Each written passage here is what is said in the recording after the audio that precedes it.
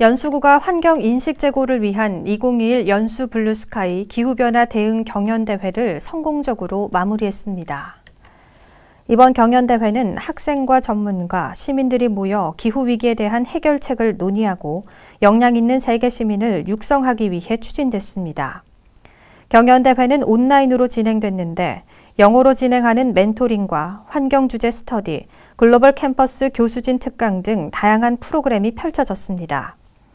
연수구 관계자는 이번 경연대회를 통해 지역 고등학생들이 국제화 역량을 강화하고 환경 인식을 제고하는 계기가 됐길 바란다고 밝혔습니다.